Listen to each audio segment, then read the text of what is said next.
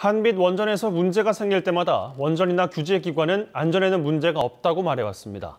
25년 전에도 그랬고 지금도 그렇습니다. 그런데 고장과 사고는 끊이지 않는데 같은 말만 되풀이하다 보니 이걸 믿어야 하는지 의심이 커지고 있습니다. 남궁욱 기자가 보도합니다. 157cm 크기의 대형 공국을 비롯해 200개가 넘는 공국이 발견된 한빛원전 3, 4호기. 건설 당시부터 부실공사 의혹이 제기됐고 당시 원자력 안전기술원이 작성한 보고서에도 공극이 언급돼 있었습니다. 25년 전 한빛원전 3호기의 사용 전 검사 보고서에는 void, 즉 공극으로 추정되는 부위가 다수 발견되었다고 적혀 있습니다. 4호기 사용 전 검사 보고서에는 이번에 발생한 157cm 크기 공극과 사실상 같은 위치의 공극이 있을 수 있다고 지적하고 있습니다.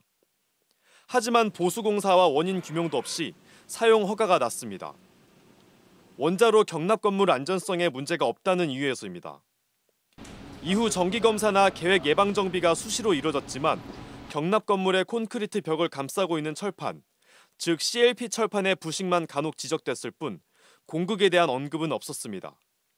지적한 철판 문제도 경미한 수준이어서 안전성에 문제가 없는 것으로 결론났습니다.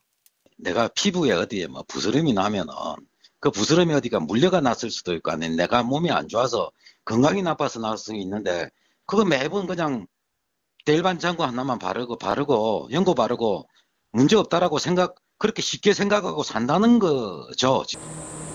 이후 2017년 8월 4호기 증기 발생기 안에서 망치가 발견됐고 주민들이 강력하게 조사를 요구하고 나선 뒤에야 공극에 대한 조사가 이루어졌습니다. 그렇게 200개가 넘는 공극이 드러나고 나서야 한빛원전과 원안이도 사태의 심각성을 인정했습니다.